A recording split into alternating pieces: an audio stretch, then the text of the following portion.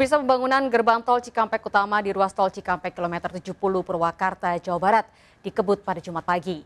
Gerbang pengganti gerbang tol Cikarang Utama ini telah mencapai 65 persen dan ditargetkan akan beroperasi pada H-10 Lebaran.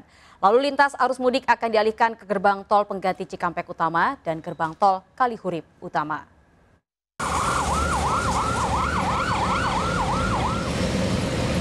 Di tengah padatnya arus lalu lintas di ruas tol Jakarta Cikampek, petugas terus bekerja menyelesaikan pembangunan gerbang tol Cikampek Utama Jumat pagi.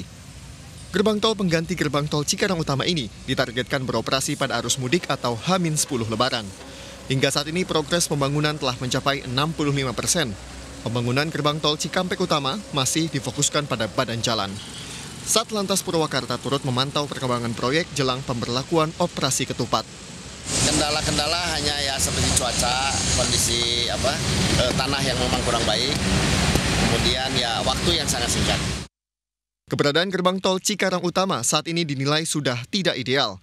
Jasa Marga akan memindahkan gerbang tol Cikarang Utama 1 dari semula di kilometer 29 ke gerbang tol Cikampek Utama di kilometer 70 dan gerbang tol Kalihurip Utama di kilometer 67. Gerbang tol Cikampek Utama akan melayani lalu lintas dari dan menuju arah Jawa Tengah. Sementara gerbang tol Kalihurip Utama akan melayani lalu lintas dari dan menuju Bandung, Jawa Barat. Dari Purwakarta, Jawa Barat, Irwan Ainus melaporkan.